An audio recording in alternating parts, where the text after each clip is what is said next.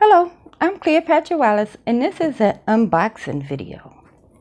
Alright, so Amazon Prime just wrapped up on Wednesday, and we are on Friday, and I already have my packages. So let's get into them. Alright. So what I ordered this time was I got all of the products so I can do my um my acrylic nails for an entire year. And I last time I ordered products from Amazon for nails, I got their Saviland color monomer kit, and I still have a lot of the color monomer. It worked so good, so I'm hoping that I can use it with this system as well. All right, so first up is I ordered four ounces of the clear acrylic powder. See, it's Morovan.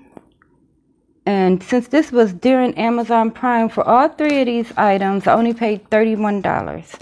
And like I said, it's enough product for me to do my fingernails for an entire year. So we have a whole thing of acrylic powder. And I'm trying to think, what was the individual price of this? I think just this by itself was like um, $9.99 or $11.99. But just so you can see um, the value that it is, is these little tubs of acrylic powder here. This little tub comes with a a little thing of acrylic liquid and together these two cost you $15.99 yeah just for this little these little bottles. So this is a great value having such a bigger container. All right. And also I got the short style stiletto nails And these is by the Meek brand. It's my first time using these as well. Alright. And they're clear and they are stiletto. Because I don't know if you can see my shaping in my nails. I am the worst nail shaper. Like I it, it takes me longer to shape the nail than it does to put the product on them.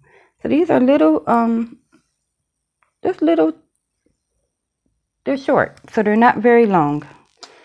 And I have 600 of these, and there are 10 sizes. All right, and the piece de resistance is the actual chemical. Now they had the um the liquid in a 16 ounce for $16, which was only a dollar an ounce. That's an incredible value, but considering that I haven't used this um this brand before. I didn't want too much of the stuff in case I didn't like it, but I wanted it to be enough in case I did like it. Like when I ordered that Saviland set last year, it only came with four ounces of monomer, and that lasted me a good while. All right, so so far it's not smelling really loud. Okay. Mm, it was upside down. All right, so it's the same packaging. Let's get into here.